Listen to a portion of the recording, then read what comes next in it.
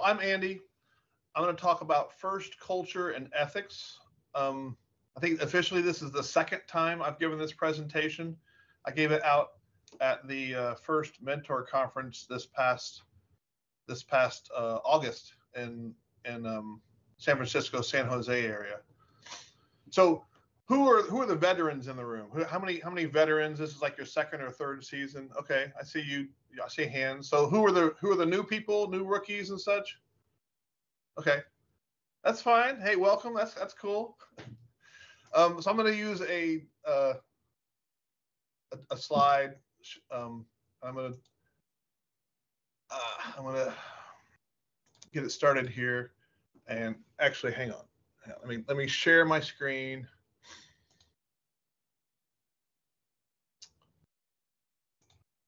So you can see what my slide is.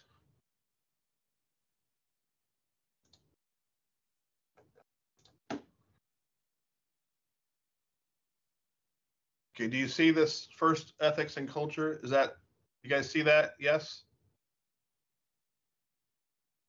I can't see you, so, oh, yes, thank you. All right.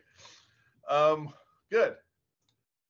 So, uh, first of all, who am I? I'm, I'm a husband and a father, first of all. That's my wife on the left, my three daughters. They, they all have been pivotal. And first, all my three daughters um, were first students, were first leaders, and they're still first volunteers now that they're out of high school. And my youngest is a senior at Purdue. My older two are out in the workforce, making us proud. Um, and I, re- I really tr- truly believe that First is a great place for a diverse group of students and adults to, to mix. Um, I'll get to that later. Uh, I'm first mentor and volunteer. I've been a mentor since 1998, and I'm president of AndyMark and I was the 2003 Championship Woody Flowers Award winner. But really, I, with, with this slide, I really can't do what I'm doing without the support of those four women there. So before we get into culture and mission or culture and ethics of first and some of the details, um, we veterans, we we well, I think this this has actually been updated like within the past week, and I didn't update my slide. So check out the the new first mission and vision, they've they've they've changed some of their wording of this. They've made it a little more streamlined. Um, I was kind of surprised by that, and I've been busy this week, so I didn't update my slide. But that's that's some news. So check out first first um, website for their updated mission. But we as veterans should should often go to the website to see what's up, look at their study their core values. I think um, I know FLL does a great job with regard to getting the kids to talk about core values, discovery, innovation, impact, inclusion, teamwork, and fun. Um, Gracious professionalism and cooperation are, are key terms that we use often within FIRST. And then um, more than robots is, a, is something they've been using a lot lately, last five ten years, that robot, that FIRST is more than just robotics. So my, my point here is as we lead uh, as we lead new first members on our teams and maybe new teams and for the job of us veterans is to make sure people know where they can go get more information about this information firstinspires.org hide that and then um, we can talk about this throughout the year and this this will kind of be our some of our our our north star direction that we can follow as we deal with culture and ethics. So the founders of First, it's important to know um, Dean Kamen is the founder. He is the primary founder. He's an inventor. He really is the, the impetus behind our inspiration. He inspires many of us. He gives us homework assignments at events. He um, he connects people together. Um, he, he, he, with some help, he invented or he founded first in 1989, um, and it became a competition in 1992. Um, he's an excellent fundraiser. He gets big companies come in and give first funds, and right now he still he leads DEKA, which is a huge research. Well, it's pretty pretty big research organization. They have like I don't know, maybe like 800 engineers working on development um, projects for different various customers, and they're based in Manchester, New Hampshire, right near where First is based. and on their headquarters. Dr. Murphy. Dr. Murphy is, I, I consider him a co founder. He helped Dean found FIRST. He's an inventor. Um, uh, the origin, I, I, have an origin story with Dean. Um, so Dr. Murphy is an older gentleman. He actually recently turned 100 years old. And then two days ago, he passed away. So rest in peace, Dr. Murphy. Um, yeah, two days ago. So here's to you, Dr. Murphy.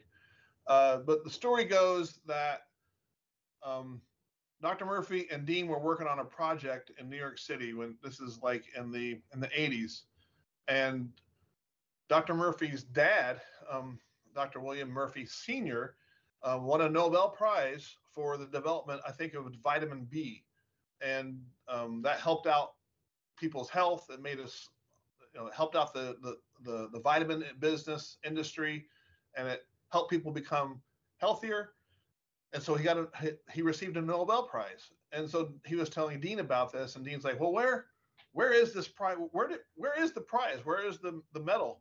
And he said, "Well, it's in a closet somewhere. It's up it's up on a shelf."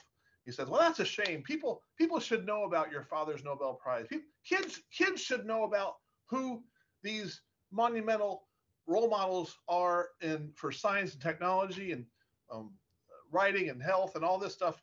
And kids kids should emulate heroes who are making the world a better place instead of emulating heroes that hit balls with sticks or put ba- basketballs through hoops. We should do something about that. So they started thinking and they um, went along and they found Woody Flowers, who also passed away recently in 2019. But he was running a class at MIT called um, I don't I actually don't know what the name of it was, but 2.007. They've renamed it. And the challenge of that class was to take a kit of parts and um, follow the rules of a new game every year and compete against other students in the MIT class. Sound familiar? So it was it was a robotics competition. It was not so much team based, but it was it was individual based, and they would have a new challenge every year and Dr. Murphy and Dean thought that was pretty cool. So they they rolled they, they recruited Woody to be a part of this new thing called called First. And here we go. So the beginning of First was really founded by Dean with the help of Dr. Murphy and Dr. Flowers. Woody is considered the father of competitive robotics because of what he did at MIT. He coined the terms cooperation and gracious professionalism and if you go on YouTube and look around, you can find a lot of stuff on Woody.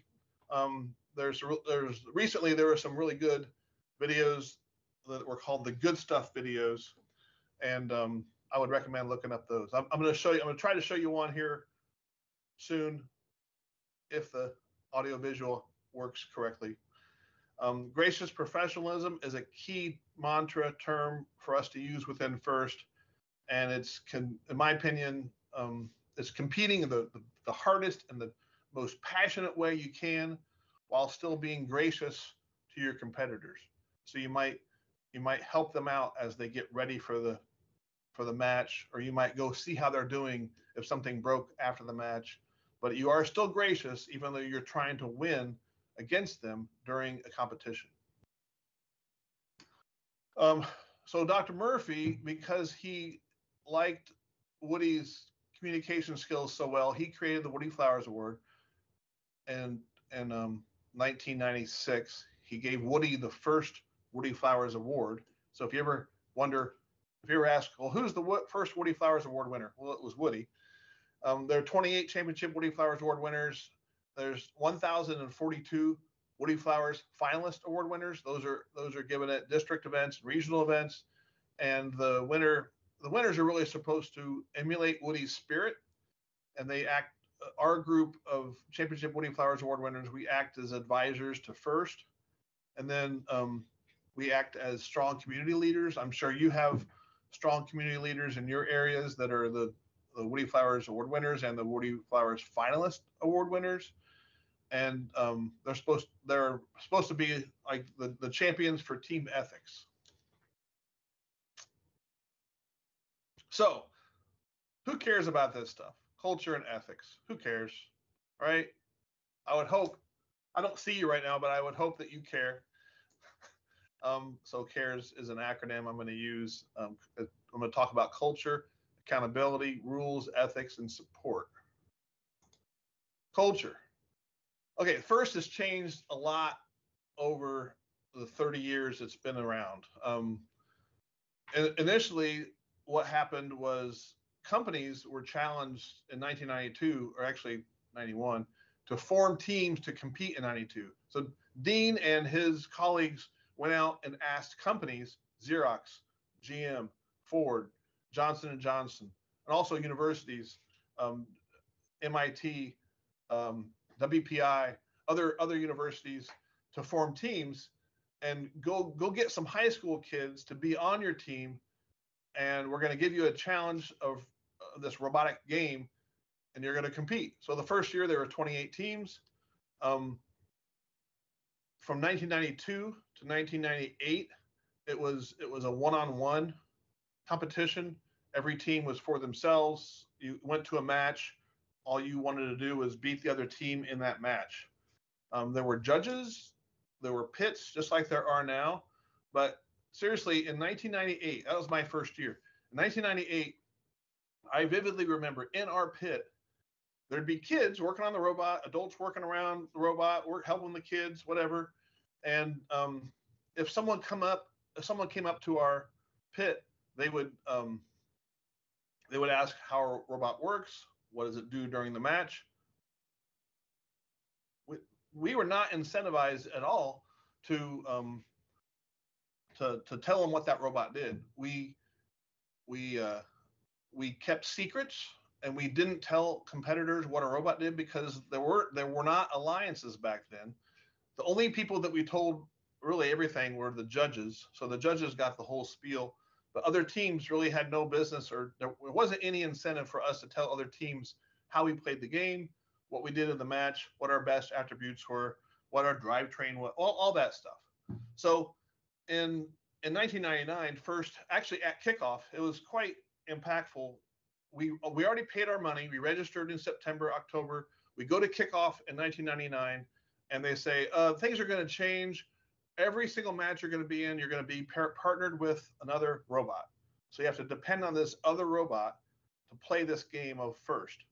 And most of us were kind of mad about that. We were like, what? We paid our money and now we have to depend on this other team we have no control over to win the match? That's kooky. That's crazy. So we don't want to do that.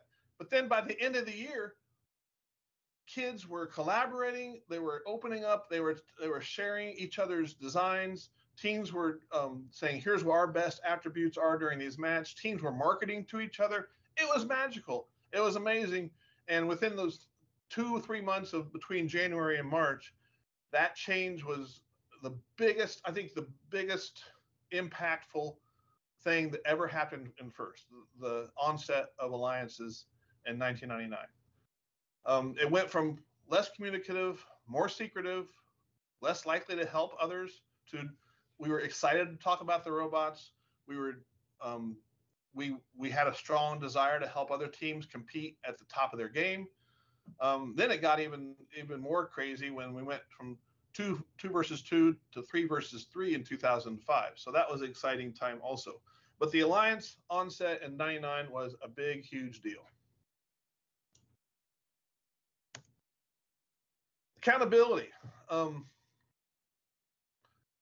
so team accountability, individual accountability, supplier accountability. Part of our culture, part of our part of our world within First is um, for us to get along, for us to cooperate, and for us to have gracious professionalism is to be to be accountable. Um, I've seen teams be accountable for things they do bad. I've seen I've seen teams not be accountable for things that they they do bad, and it takes sometimes years for them to recover from that. Um, teams like whenever I would be a, a, field coach, if I'm a field coach with my drivers, um, I know that everybody's watching us, and I have to make sure if we if something goes sideways during the match and such, there's frustration. Um, it's it's not good.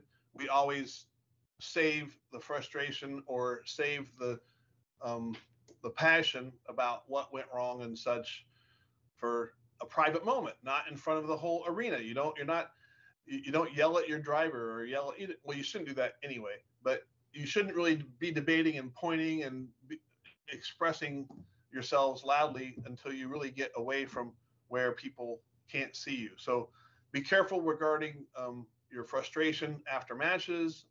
Let things cool down and then go through the issues as a, as a team privately.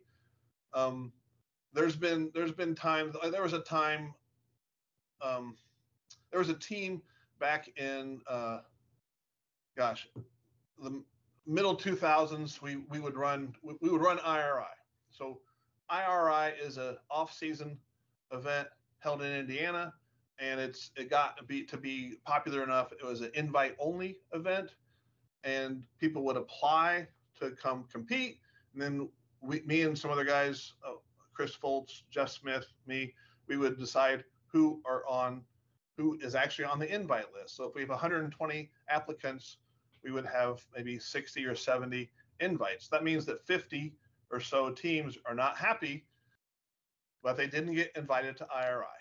So there was a team at one point that would come every year, and they were a very, very successful team. But every year, without fail, they would be complaining about stuff. They'd be saying, we don't like this. We don't like that. And they would just they were just kind of jerks about how how the event would go or how you know that's not how it is where they're from. And they were just like you know, you know what? You don't have to come. It's like gosh guys this is an off-season event. So there was an there was another year where they were one of those teams that wasn't quite as good as they were and they they didn't get invited and that was frustrating to them we talked about it afterwards. I talked about it afterwards. Was like, hey, if you guys come every year and you're just complaining about it, why should we invite you when there's other teams that want to come in? So they eventually were accountable for their actions. Um, we held them accountable. It was kind of tough, but um, that was a way for a team to kind of learn a lesson over the years. And we we had to talk it through with them and get them to um, be a better team and be a more positive team. And now they're they're still good friends and they they're they're good people in the community. Another uh, some examples of individual accountability. I, I've seen like um, I have, I have a good story. Uh, shoot, shoot, sorry. I remember having a, a student a couple years ago that uh, we were out of we were out of stock of a part and shame on us. We actually accepted an order for that part that was out of stock because I think they got their order in right at the end of when the stock was available at AndyMark, and um, we we let them know that hey, this this isn't going to be able to ship for a couple weeks. It was in the middle of build season, and they were they were darn frustrated. So I had a student email me, and they said, well, this is this is inappropriate. You should do a better job of of managing your inventory. Um, this is you shouldn't take the order if you don't have it in stock. He's right. He's right. He's right. But they said you're this is a big bait and switch, and you stole my money. You're a thief. I'm like, whoa, I'm a thief. Well, I don't like that's that's a low blow. That's kind of fighting words there. So I um I was writing email back to him. I'm, I'm to teach you a lesson. Blah blah blah blah blah. And I'm I'm typing this email, and I pulled in some fellow staff members and they read my email and said, don't send that email. You got to tone it down. Andy, you're still a mentor on these teams. You got to back off. You're, you're hot head right now and you need to take a break. Don't send the email yet. Just because he called you a thief, you don't need to rip the kid. So I, I, I, I actually changed the email and I said, okay, I'm going to ignore the whole thief thing. And, and actually his, his teacher was copied on the, on the note. So I copied the, I had the teacher on my note back to him, and I said, I'm going to ignore the the the the, the thief thing, but yes, I'm going to address all these issues. Here's why it was out of stock. I'm sorry about that, this and that. And I, I was it was a it was a well written letter after my my co my colleagues got me off the ledge there. Um, the teacher emailed me back and said, "Oh my gosh, I did not expect that kid to send this email. I'm so sorry. He didn't check with me before he sent the email. Um, but it's all good. it's it's fine. He said that the, the, the he said the kid is, you know, he's he's really passionate about these things, and he's he's sorry, but he, you know, he just went too far. So that year at Champs, I'm walking through the pits. That that teacher grabs me, and I end up able to talk to the kid. We get a picture together. We're smiling, we're laughing. Water under the bridge, bridge, no big deal. I'm actually in a. I really appreciate the teacher and the student both for for wanting to say hi to me at Champs. And um, you know, I was the, the student was accountable for his actions. The teacher was accountable for the student's action. Um, I had you know some good people to help make sure I didn't make a mistake when I fired back at the kid, and it was a good example of accountability uh, with regard to individual actions. Supplier accountability. Um, we, gosh, we we we make mistakes often.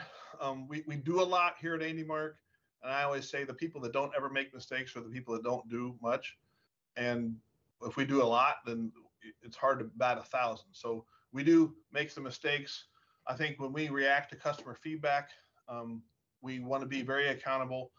Um, I, I, think also if if there's something that goes goes wrong with maybe our product with a supplier or some interaction between those suppliers, that's that gets difficult sometimes. There's been some times when we have a hard some of our supplier to supplier relations are difficult, but usually time does heal those wounds and we talk it through and we do have a positive interaction with suppliers.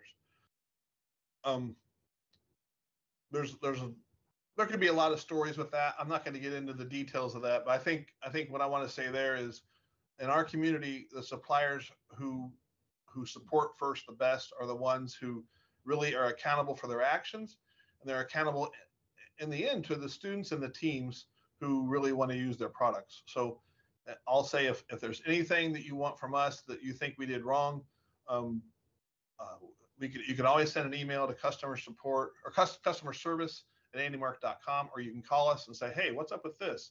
This is I think this is wrong. And we can talk about it. Often, often also a lesson there is if we see something that went wrong and we're, we're catching it first and it's not seen out in the market yet, this is just basic business one-on-one.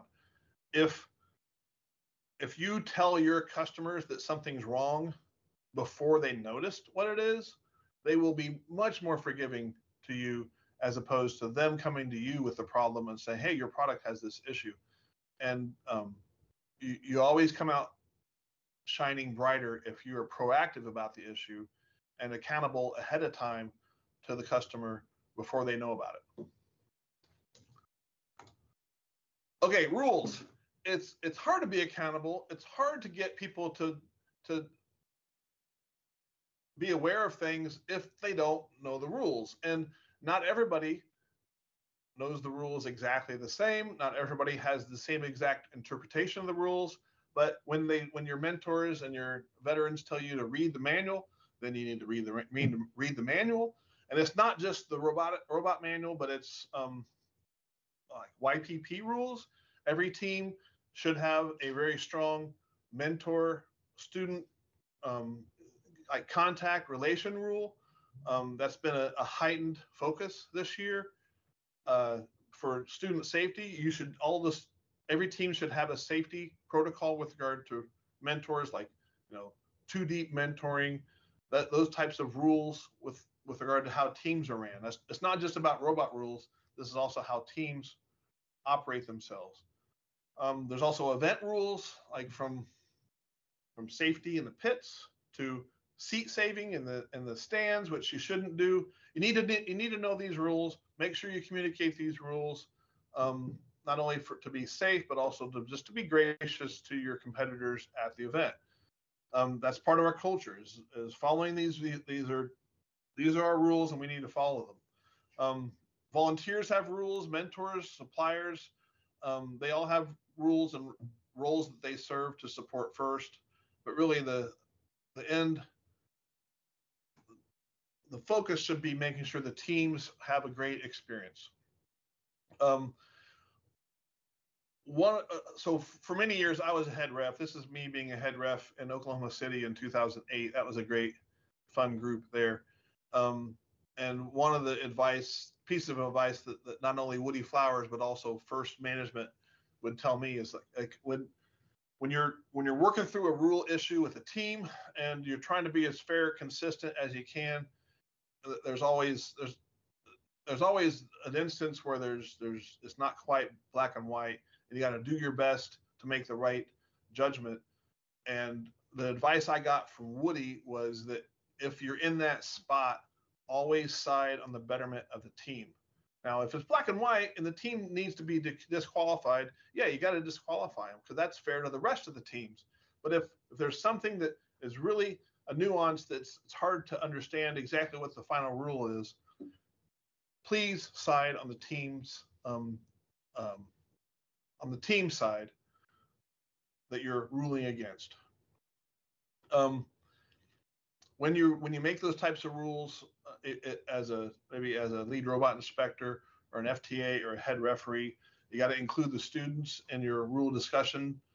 Um, if you're the volunteer, if you're the if you're a mentor, you got to work through those rule discussions with your team and I would recommend strongly you don't just blame people for rules to be bro- broken. I would expect those teams who get disqualified or have issues at that come at them, please use these as a learning experience, not as a um, a chance to pile on against against volunteers. Okay, ethics. Now let's I might need some verbal feedback here, but let's see if this um, video works.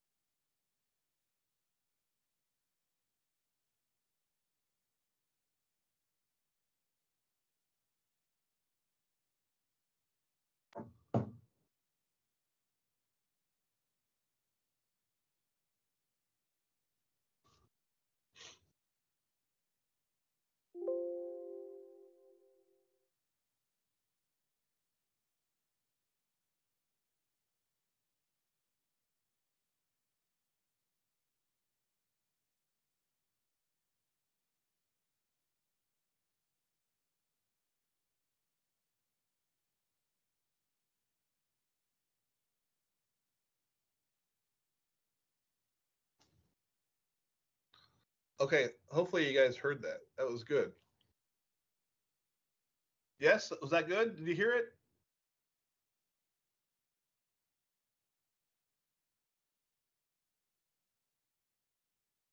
Ah, shoot. Okay, so maybe at the end we can try to do that again. Well, okay, so it's on YouTube. Woody Flowers, good stuff, ethics. I would that's that's my search um, suggestion for that.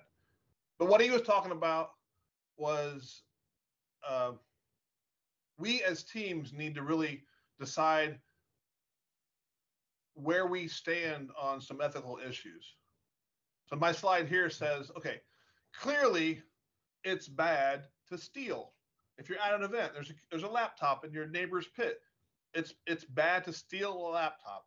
It's it's bad to steal another team's award entry, like verbiage or their video or whatever. It's obviously bad to sabotage the radios at the Duluth Regional or whatever whatever event you're going to.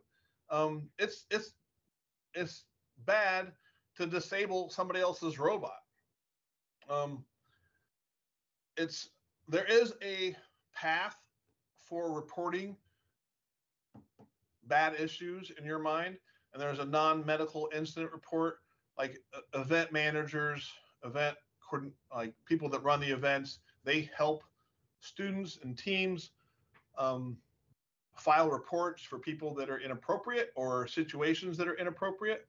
And um, sometimes those are subjective and not as bad as others. But uh, there's been uh, many years, there's been sadly just bad things that have happened because our community is pretty darn big.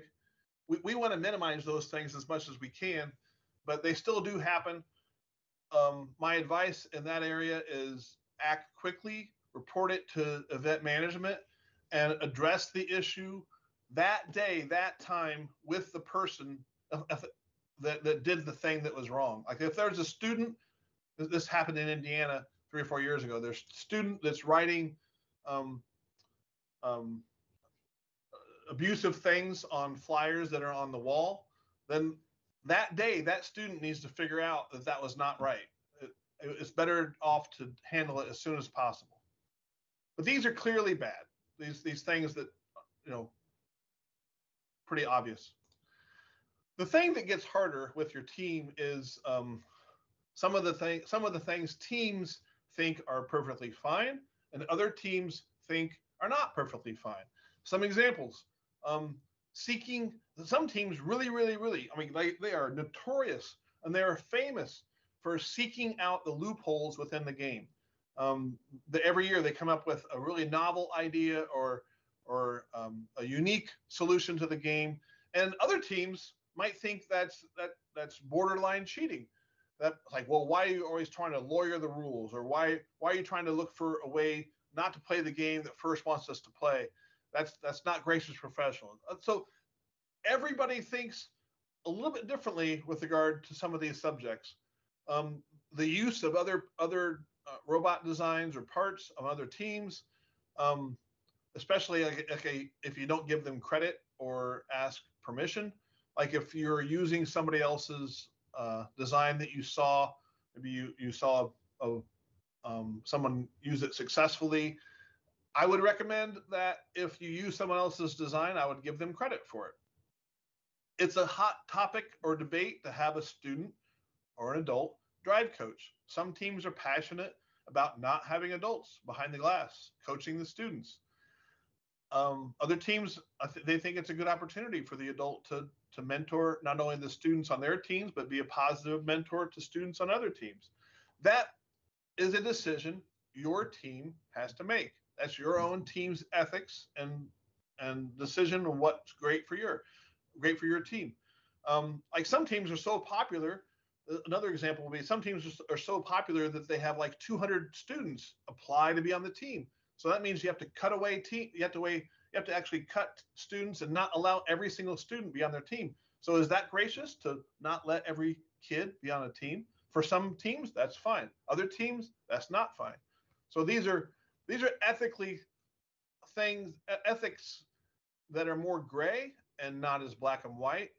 Um, like another another topic that's kind of a hot topic would be just just adult involvement on the team. Some teams believe the adults really shouldn't be turning wrench or fixing things on the robot or even designing things or coding things. It should all be students.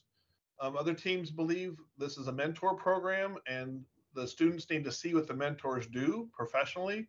So seeing the mentors design, seeing them fix things and program things is a good is a good part of FIRST.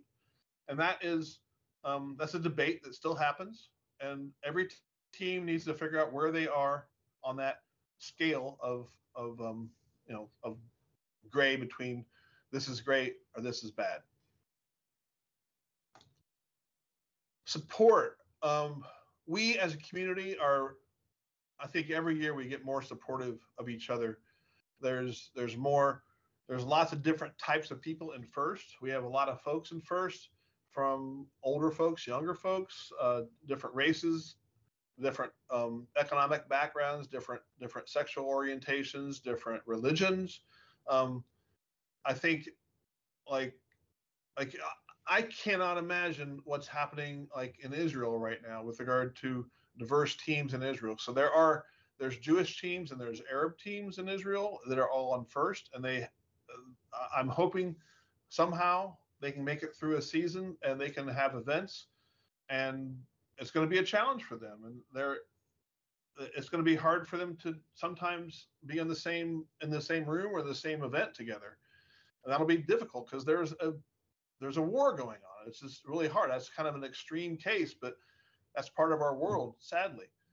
Um, I think as we talk about support, um, I think anytime you're working on anything with a new robot, the or your robotics team from fundraising to the robot itself to programming to CAD design or whatever, leadership, the more you empower the students, the more you, you support the students, no matter no matter their age, their their ethnic background, their ability, the more you support them, the more the more the better off you're going to be.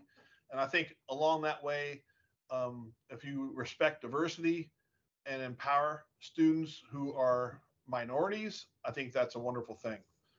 Um, as we as we relate to each other within our community, um, there's a lot of cross team collaboration. I always tell our our students to um, as we go to an event, try to talk to students on other teams, try to talk to adults on other teams, and they're going to give you support also. Um, you might um, there's a lot of there's a lot that happens amongst teams that collaborate together, like like, like taking multiple teams on the same bus to go to championships, or multiple teams having the same workspace and competition field, or doing outreach events together, or hosting off-season events together. You don't see at least I don't see sports teams doing that as much as robotics teams. I think robotics teams, part of our culture is the fact that we support each other, even though we compete against each other. Um, sometimes there's even coaches and mentors on multiple teams. They're supporting multiple teams, and that's a that's a great thing. So the culture of support within First is strong, and we need to keep that going. Um, so some actions, some homework actions. Uh, this kind of review. Culture, know your basics, propagate our culture by sharing your stories. Um, you older folks, older students, older mentors, please share your stories like I was sharing some old stories and hold each other accountable. Um, you got, you got to still have respect for each other, but if you see somebody veering off of something and not doing something that's that they should be doing, tap them on the shoulder and hold them accountable for what they're doing read your rules, understand your rules, not just about the robot, but your team, your tournament, the game rules, all that stuff. And then have the exercise of deciding on your team ethics. How is your team structured? How is how do you run your team? How much are your students empowered? Who's the drive coach? All that stuff. And then continue to help each other and support each other in our community. And it's going to continue to be great. Um, so I, I got some time. Thank you for letting me do this. I think we can talk about some stuff if we want. Let me stop sharing. Um, you got any questions about anything I talked about?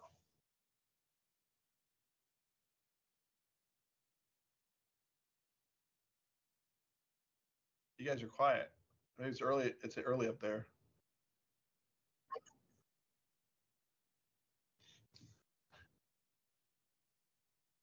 Yes, in the back.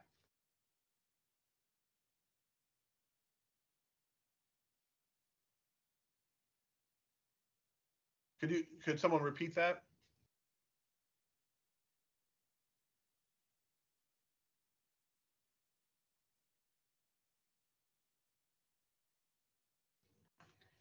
I think I think the main thing that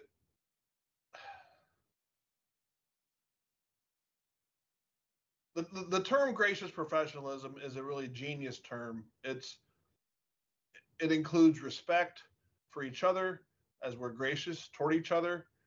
Um, professionalism means we're not we're we're we're kind of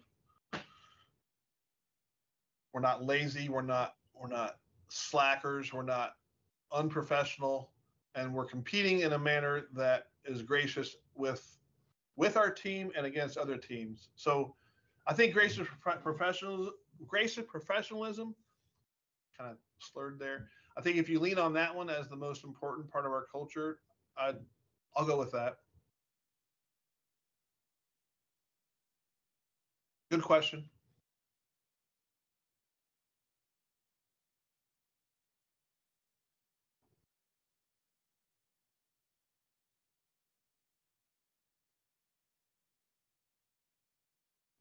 Uh, that's a great question. Um, it's hard. Yeah, we try to. Um, we've had we've had our challenges. We've we've had uh, we've had some really difficult challenges this year. We've had a. I think I think um, when Mark and I started the company back in 2004, we started out of our garages, and it was really hard.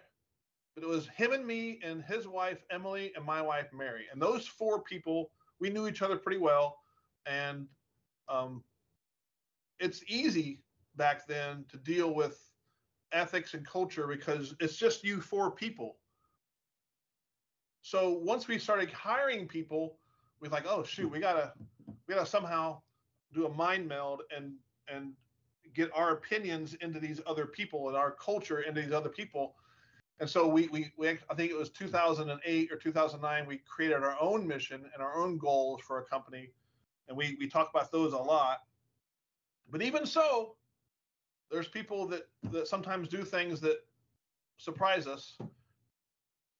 Granted, 99% of the people that have worked here have been fabulous and they they do wonderful things and they really are a great example of our culture first culture um, and we try to emulate what first is doing so yes yes yes we try to emulate and we try to follow the first culture within AndyMark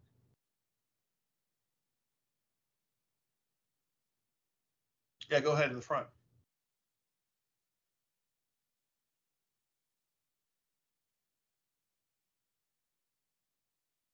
how do we how do we make sure students are holding themselves accountable? Um, if we have a contact with a student as a company, so I'll, I'll, answer it in two ways: as a as a coach on a team and as a company.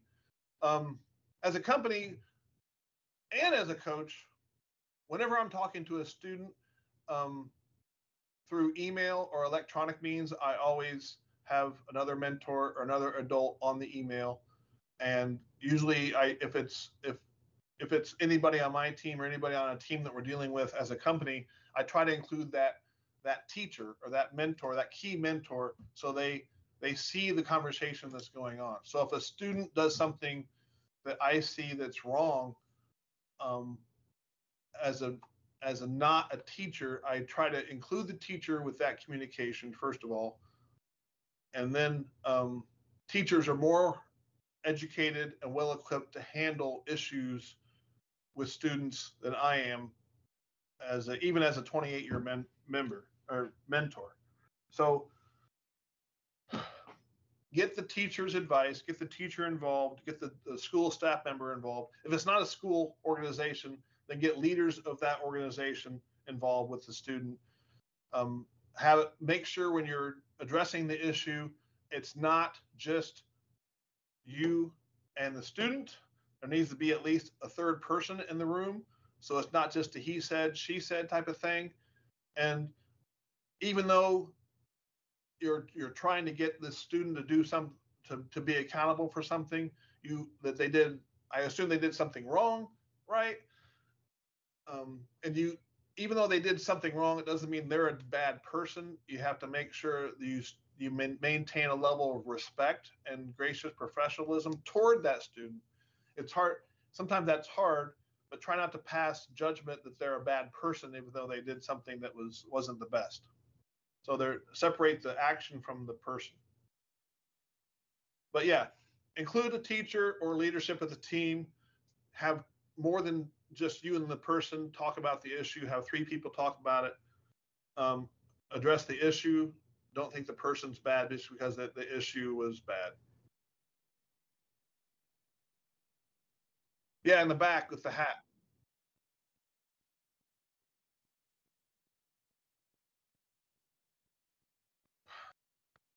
I how do I confront people who are not being gracious? Um,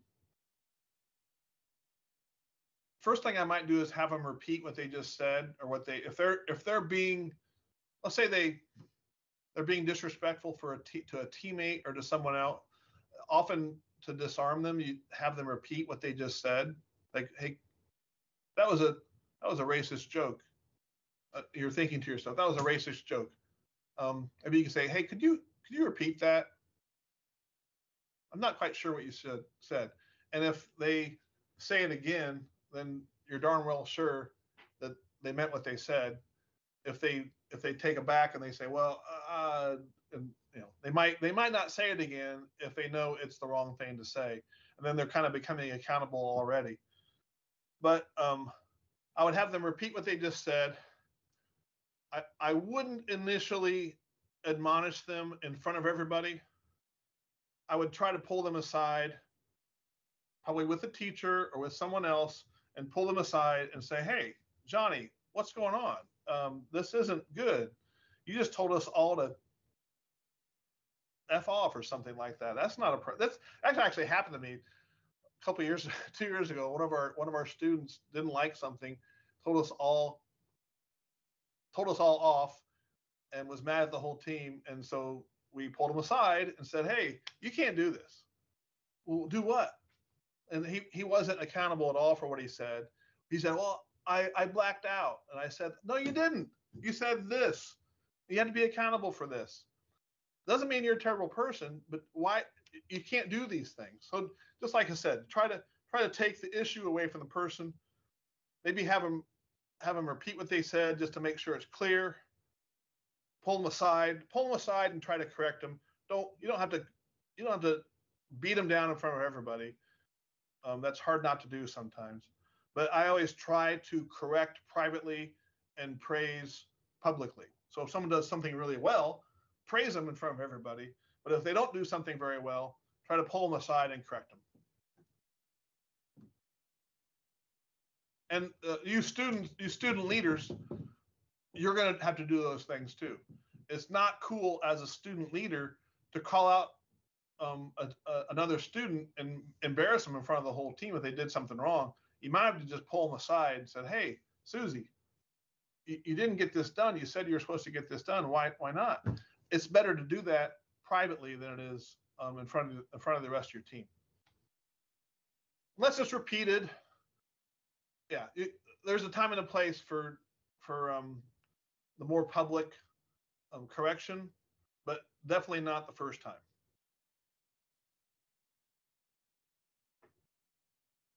What else you got?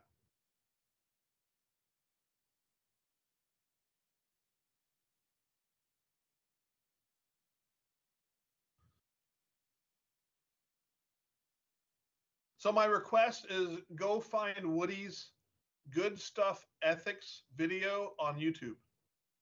So check it out. If you if you don't know Woody, sadly he passed away maybe before many of you got involved on the team, but he's really brilliant, and I would recommend searching his old videos.